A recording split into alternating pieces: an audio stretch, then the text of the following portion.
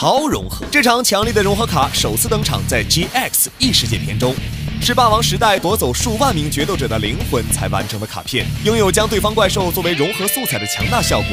对手每次召出强力怪兽，时代都会利用超融合将其变成自己的怪，真不愧是霸王。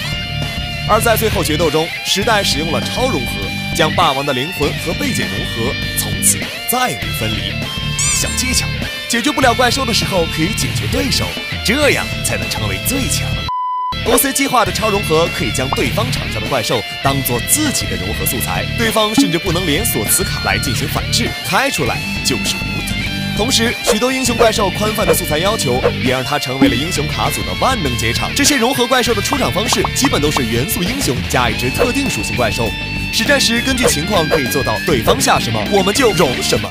后来不绑定名字的融合怪越来越多，这张卡的强度也在不断提升。在那时，每个人都想超融合，哪怕你叫出五张流天类星龙，也给你做成五地龙。那么这么厉害的卡片可以去哪里拿到呢？哎，这你就问对人了。霸王时代在游戏王决斗链接中已经解锁，通过他的技能就能获取强大的超融合，快上线体验吧！